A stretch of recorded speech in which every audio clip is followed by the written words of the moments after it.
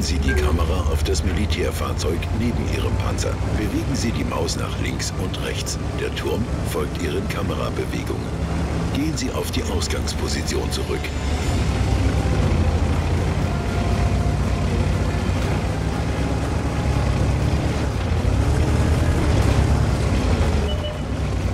Bereit zu feuern!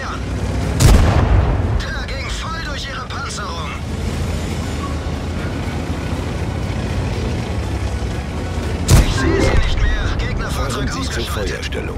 Diese ist auf der Minimap am rechten unteren. Bildrand markiert. Wirkungstreffer! Ha, Der ging voll durch ihre Zerstören Sie das Gegnerfahrzeug, während Sie sich bewegen. Sie Der müssen ging nicht voll selbst durch ihre zielen. Panzerung. Automatisches Zielen macht das für Sie. Der ging voll durch ihre Panzerung! Der ging voll durch ihre Panzerung!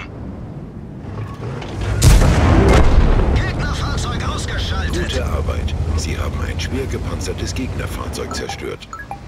Verwenden Sie die Richtschützenansicht, um auf Ziele in großer Entfernung zu zielen. Zerstören Sie das Gegnerfahrzeug. Zielen Sie auf die Front des Gegners oder ein Stück davor, um einen sich bewegenden Gegner in großer Entfernung zu treffen.